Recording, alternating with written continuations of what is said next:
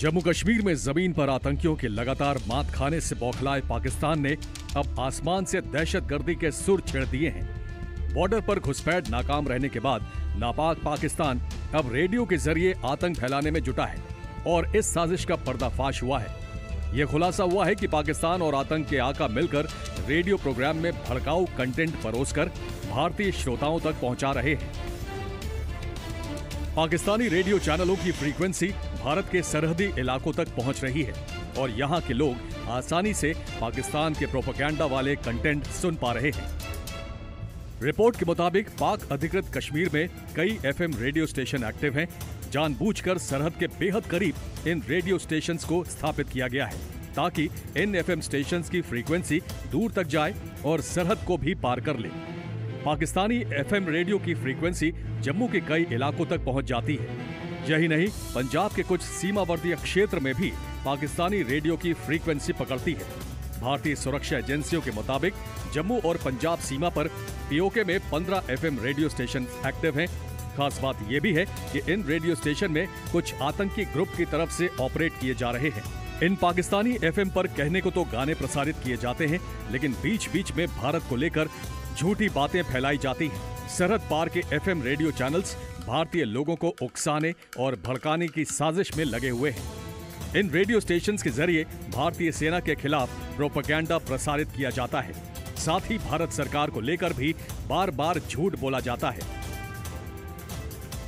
देखो, आज के माहौल में मीडिया एक बहुत powerful force misinformation disinformation deception propaganda लड़ाई के मॉडर्न स्ट्रेटेजिक टूल्स हैं।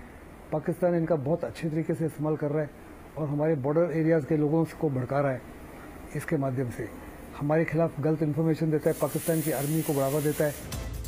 पाक अधिकृत कश्मीर में चलने वाले एफएम रेडियो स्टेशन का मकसद मनोरंजन से ज़्यादा भारत के खिलाफ प्रोपोगंडा फैलाने का ही है।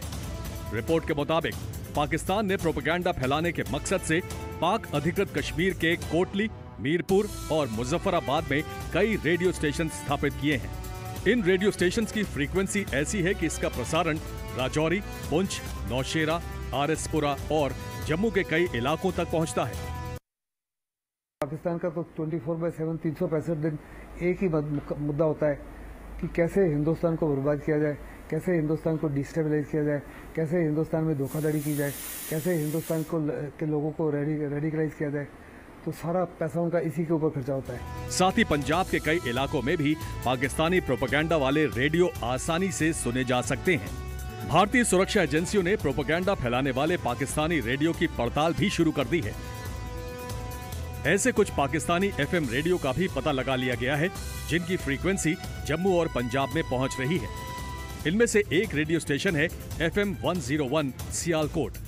इसी तरह से रेडियो बुराक सियालकोट का प्रसारण इन इलाकों में सुना जा रहा है। इसी कड़ी में एक नाम Mast F M one zero three Gujranwala का भी है। वॉइस ऑफ़ कश्मीर 95.8 के ज़रिए भी प्रोपोगंडा का प्रसारण जम्मू पंजाब के कुछ क्षेत्रों में हो रहा है। रेडियो स्वाद नेटवर्क 100 एफएम भी ऐसा ही एक पाकिस्तानी रेडियो स्टेशन है। रेडियो बुराक एफएम 104 से भी प्रोपोगंडा फैलाने का काम हो रहा है। रेडियो पेशावर का भी प्रसारण जम्मू और पंजाब तक पहुँच रहा है। वो अपने पावरफुल एफएम स्टेशन लगाने, जो उसके एफ़ स्टेशन को ओवर पार कर सकें। दूसरा, हमको हाई पार्ट जमत लगाने हैं, जिसके उसके एफएम स्टेशन को जैम कर सकें।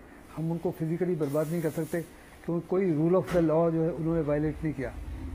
वो रेडियो फ्रीक्वेंसी का इस्तेमाल कर रहे हैं, जो इंटरनेशनल लॉ के मुताबिक वो कर सकते हैं। सीमा पार के एफएम रेडियो स्टेशन का प्रसारण भारतीय सीमा तक पहुँचने के मामले को केंद्र सरकार ने गंभीरता से लिया है। सुरक्षा एजेंसियों से सरहद पर एक्टिव पाक रेडियो चैनलों की लिस्ट बनाने और उनके कंटेंट को मॉनिटर कर रिपोर्ट करने को कहा है, ताकि आगे की कार्रवाई की जा सके। मनीष शुक्ला, जी मीडिया, दिल्ली।